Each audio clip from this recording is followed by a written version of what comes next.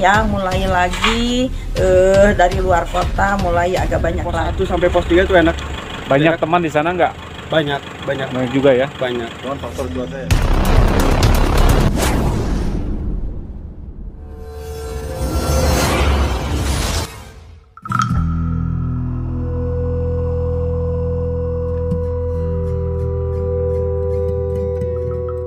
Muhammad Gibran Rashid, remaja usia 14 tahun warga Kecamatan Wanaraja Kabupaten Garut sempat hilang selama lima hari dan ditemukan dalam kondisi selamat di Gunung Guntur Garut. Pasca ditemukannya Gibran, Jumat 24 September 2021 lalu, pendakian Gunung Guntur Garut sepi para pendaki mengaku takut dengan suasana mistik di Gunung Guntur.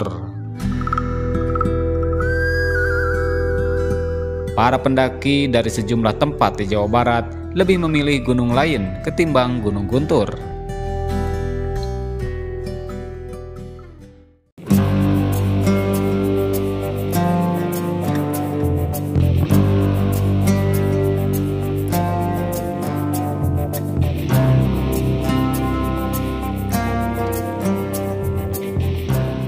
Namun kondisi itu mulai berubah. Para pendaki mulai berdatangan ke Gunung Guntur.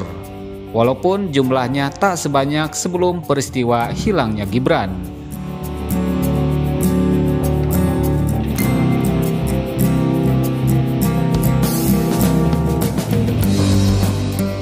Pengelola posko pendakian Gunung Guntur Umitati yaitu Tati Karwati mengatakan bahwa saat ini para pendaki mulai berdatangan.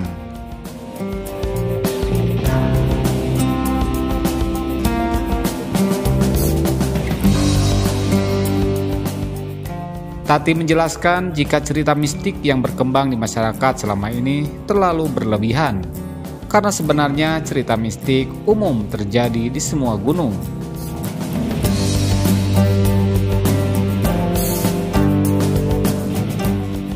Tetapi yang perlu diperhatikan para pendaki Gunung Guntur, selain berdoa sebelum mendaki, juga saat melakukan pendakian selalu menghargai alam dan mentaati beberapa larangan khusus di Gunung Guntur.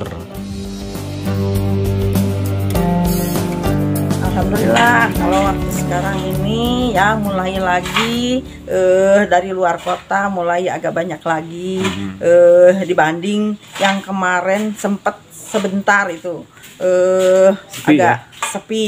Tapi sekarang alhamdulillah udah mulai eh, banyak lagi lah gitu. Itu biasanya dari mana kalau sekarang ini? Eh, dari Tangerang, Jakarta, Bogor, Mhm. eh, dari Bandung, ya apalagi dari ini Garut, Iya. ya. Yap. Kalau mau mendaki itu harus ada Data-data Bu ya. data ya data, emang data dari ini dari base camp di data, terus lagian di pos 1 itu pos tiket, Mhm. di pos 3 pendaftaran lagi itu eh, biasa seperti di sini di data lagi anak-anaknya gitu. Hmm.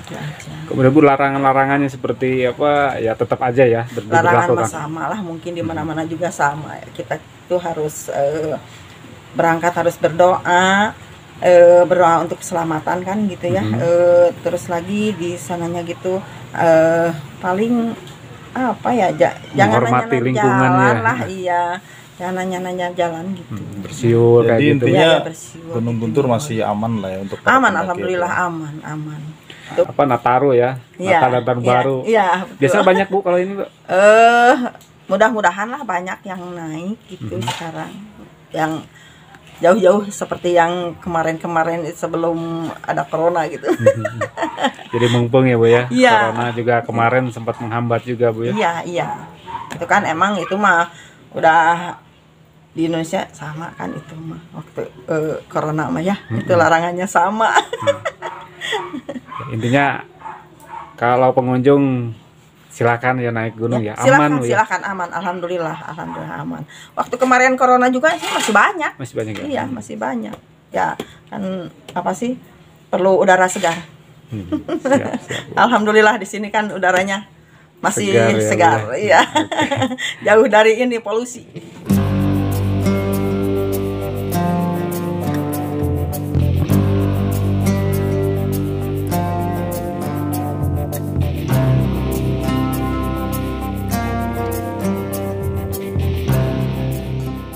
Hal yang sama juga disampaikan oleh pendaki dadakan Mountain, Rangga, asal Bogor yang baru turun dari kawasan Gunung Guntur, bahwa kondisi di atas Gunung Guntur saat ini dalam kondisi cukup baik. Tak ada yang perlu dikhawatirkan di Gunung Guntur, kecuali tetap waspada dengan kondisi cuaca saat ini. Hujan mengakibatkan trek pendakian menjadi licin. Eh dari dari mana nih? Kita dari Bogor. Bogor. Bogor, puncak. Jadi naiknya kapan nih? Naik hari Jumat siang. Hmm. Betul. Terus gimana sih si- situasi di atas? Situasi di atas sekarang membaik, enak. Pokoknya dari semua base camp itu udah enak semuanya dari pos 1 sampai pos 3 itu enak. Banyak Enak. teman di sana nggak? Banyak, banyak, Banyak juga ya. banyak. Cuman faktor cuaca ya sekarang ya. Ya, cuma mungkin karena faktor cuaca jalan agak agak licin. Hmm. Jadi harapannya ke pendaki yang lain Pendaki yang lain ya semoga eh, sadar ya kalau sampah-sampah soalnya dari tadi juga lihat banyak sampah banget sih kesadarannya aja Kesadarannya. Terus, ya apalagi ya tambahan terus untuk pendaki yang lain yang mungkin lama nggak ke sini Gunung Guntur aman lah ya aman aman Terus banget, karena aman banget. takut kemarin nah, si Gibran hilang. Ini gimana Oh, sih? enggak sih itu tergantung dari kitanya sih tergantung dari kitanya Hmm. kalau kitanya sopan aman nyaman dari bicara kita baik sopan gitu aman sih menurut saya. Nggak Ini- ada. Ini gunung ke- yang keberapa yang didaki nih? kita ke gunung yang keempat. Oh, keempat. Iya. keempat. Ini gimana nih dari perbandingan dari tiga yang sebelumnya?